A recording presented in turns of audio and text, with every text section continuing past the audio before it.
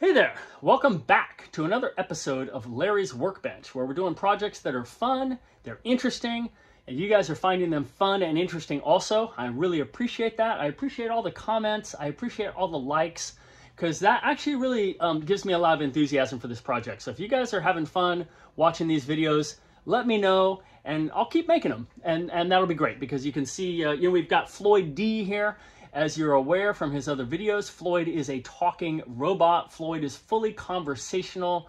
He can talk on any topic and um, you can really have a conversation with him. And that's not something we expected to see in 2024, but that's kind of where we are. So today, we are talking about the API calls that allow Floyd to do this. You know, Floyd is powered by a Raspberry Pi 4B, and that sits just on the back of the, of the bot right here. And that Raspberry Pi through Wi-Fi is talking to the large language models at OpenAI, and it's using what's called an API. API is an application programming interface, and we're gonna, I'm going to show you the code that Floyd uses to do exactly that. So an API basically allows a computer to talk to another computer. For example, it could allow your phone to talk to your bank or to talk to some other computer on the internet. And it's basically a code or a language that is predefined by the computer generally up in the cloud says, hey, if you send information to me in this certain format, I'll send information back to you in a certain format and you can decode it. And this, re this relies on Wi-Fi. The Raspberry Pi does have Wi-Fi built in and I happen to have fiber optic uh, here to the lab. So, you know, we do have plenty of bandwidth, plenty of connectivity. So, mm, yay for us. But uh, uh, so it's pretty zippy, it's pretty fast, and eventually I'll take Floyd to another environment and we'll see how he works in a different environment. But anyway, we're talking about his first API call.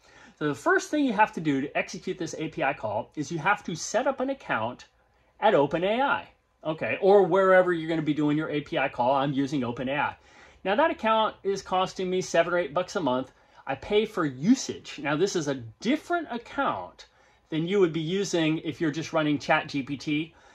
Basically, you're accessing the same models, but with different constraints. Uh, I think it's a few less guardrails, to be honest, and you're accessing them kind of under the hood from a programming point of view, as opposed to just communicating with ChatGPT through your browser. Uh, you can think of ChatGPT as running, let's say you're running the model GPT-4o for Omni. ChatGPT is like kind of a shell or a wrapper that allows you to communicate with that underlying language model. Well, Floyd is going to also communicate with that same underlying language model, and I'm going to show you how. So I'm going to turn the camera around here so we're able to see that, and let's see, we'll just rotate that over here. Hopefully you guys are going to be able to see all this. Now you know that this is the Raspberry Pi wallpaper screen and you know that I'm running Thonny and Thonny is what allows me to run my Python code. So I open up Thonny, which is just a little development environment, and we're looking at the Python code right here.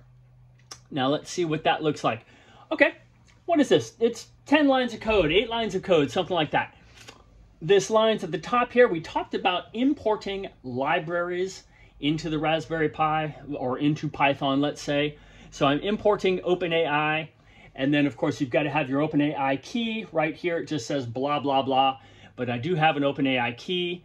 Uh, I've got it sort of hidden away. You can't see it. But anyway, you've got to have your OpenAI key. You would put it there. And these lines are yellow because they're commented out. Now, let's see. We've got this infinite loop, while true. It's going to accept an input from the user and then it's going to create a response by sending that up to openai.chat.completions.create. The model is GPT-4o, which is the most advanced model at OpenAI, and it's going to receive a text response, and it's going to print the text response. So now, let's go ahead and run that by clicking the green button here, and let's see if we can get it to run. And now we've got a um, we've got a console screen down here. Hopefully you can read that please type in your prompt and I'm just going to type hello there. And I'm going to click return. And let's see if it's going to deliver a response. And there it is. Hello, how can I assist you today? Look at that. That is so cool.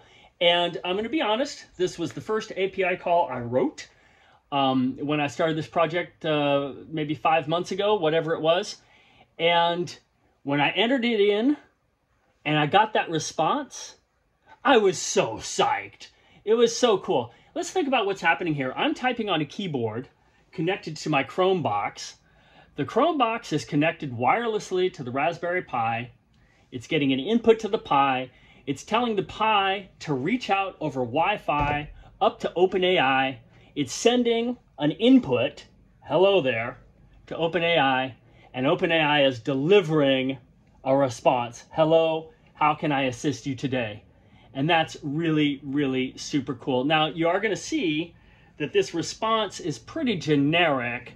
Uh, so uh, let's see. Let's just try what's your name? Now remember, we're just talking to OpenAI right now. We're just talking to effectively ChatGPT. It's not really ChatGPT. I don't have a personal name, but you can call me assistant. How can I help you today? Now, any of you guys that have played around with OpenAI at all, you know that the responses it gives, sometimes they're kind of boring, they're kind of flat, just like that, or they can be really extensive. I tested out a response um, where I tried this earlier and I asked uh, how many bones are in the human body, and it just gives me this long dissertation, very chat GPT, uh, very boring, very uninteresting. It's magic because the large language module is delivering this information, but this information is not coming back. It's not, there's no personality there. Okay, and so, but, but what's interesting is, like I said, eight lines of code that are allowing us get deliver this prompt and this response. So that's very cool. We're going to go into, in subsequent videos, how we get Floyd to talk, how we get Floyd to transcribe text, convert text to speech, where Floyd's personality comes from, where Floyd's context memory comes from, and all these different types of things. So if you're interested, there's another video right up here. Please go ahead and give that a watch and go ahead, like, subscribe, leave us a comment, and thank you for watching.